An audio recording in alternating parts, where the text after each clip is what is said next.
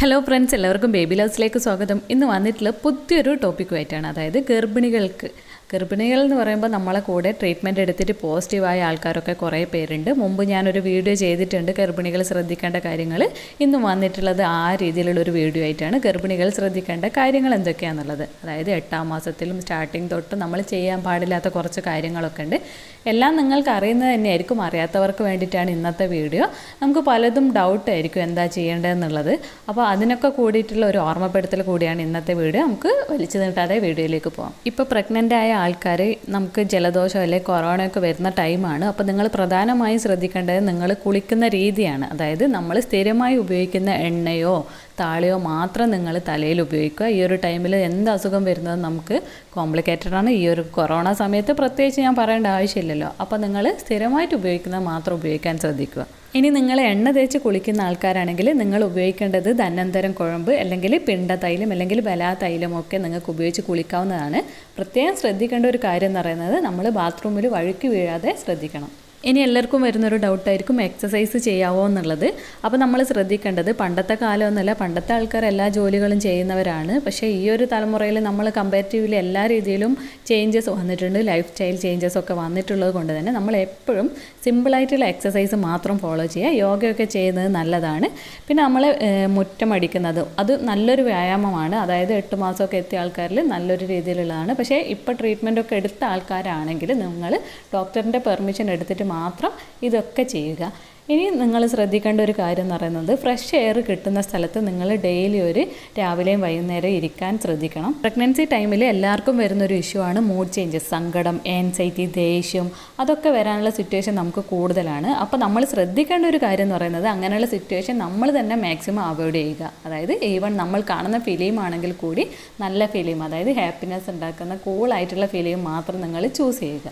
ഇനി പ്രഗ്നൻസി ടൈമിൽ വരുന്ന ഒരു ഡൗട്ടായിരിക്കും നമ്മൾ ഉപയോഗിക്കുന്ന ഡ്രസ്സിന്റെ കാര്യം. അതായത് സ്കേർട്ട് അല്ലെങ്കിൽ പാന്റൊക്കെ യൂസ് ചെയ്യുന്ന ആൾക്കാർ എവിടെയാണ് അത് ഇടേണ്ടതെന്നുള്ളൊരു ഡൗട്ട് വരും. അപ്പോൾ നിങ്ങൾ ശ്രദ്ധിക്കേണ്ട കാര്യം എന്ന് പറയുന്നത് ഹിപ്പിന്റെയും ബ്രസ്റ്റിന്റെയും ഇടയിൽ കൂടുതൽ ടൈറ്റ് ആയിട്ടുള്ള ഡ്രസ്സ് നിങ്ങൾ കഴിവതും ഒഴിവാക്കണം. അതായിരിക്കും ഏറ്റവും നല്ലത്.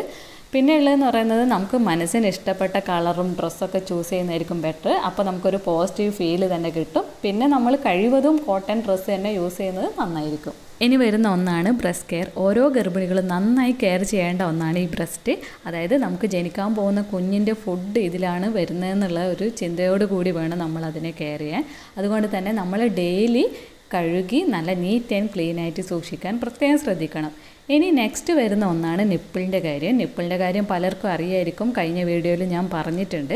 അപ്പോൾ അറിയാത്ത ആൾക്കാരെ ശ്രദ്ധിക്കേണ്ട ഒരു കാര്യം എന്ന് പറയുന്നത് നിങ്ങൾ പ്രഗ്നന്റ് ആയ ആ ഒരു ടൈമിൽ തന്നെ കുളിക്കുമ്പോൾ ഒലിവ് ഓയിലോ മറ്റെണ്ണയോ എന്തെങ്കിലും ഇട്ടിട്ട് നിങ്ങൾ നിപ്പിൾ പുറത്തേക്ക് വലിച്ച രീതിയിലുള്ള മസാജ് ചെയ്യാൻ ശ്രദ്ധിക്കണം.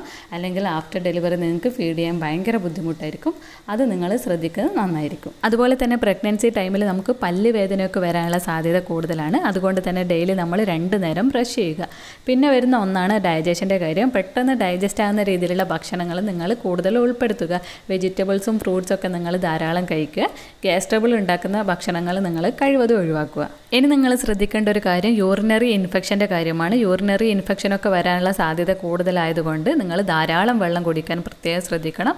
അതുപോലെ ചൊറിച്ചിലൊക്കെ വരാനുള്ള സാധ്യത ഉള്ളത് കൊണ്ട് തന്നെ നിങ്ങൾ ബാത്റൂമിൽ പോകുന്ന ഓരോ ടൈമിലും ടിഷ്യൂ അല്ലെങ്കിൽ കോട്ടൺ ക്ലോത്ത് വെച്ചിട്ട് ആ ഒരു നനവ് തുടച്ചു മാറ്റുന്നത് നന്നായിരിക്കും.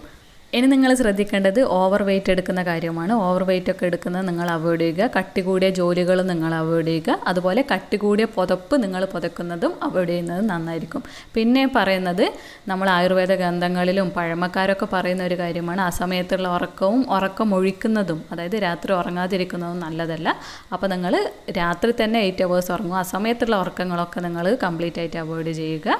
ഇനി വരുന്ന ഒന്നാണ് മലർന്ന് കിടക്കുന്നത്. മലർന്ന് കിടക്കുന്നത് നിങ്ങൾ ഒഴിവാക്കുക. നിങ്ങൾ എപ്പോഴും സൈഡ് ചെരിഞ്ഞ് കിടക്കാൻ തന്നെ ശ്രദ്ധിക്കുക. അതുപോലെ പറയുന്ന ഒന്നാണ് ഗർഭിണികൾ വലിയ കുഴികൾ കിണർ അങ്ങനെയുള്ള കാര്യങ്ങളിലൊന്നും കുറേ നേരം നോക്കി നിൽക്കരുത് എന്നുള്ളത്. അപ്പോൾ നമുക്ക് അത് വേണമെങ്കിൽ എടുക്കാം വേണ്ടാത്തവർക്ക് അത് എടുക്കണ്ട.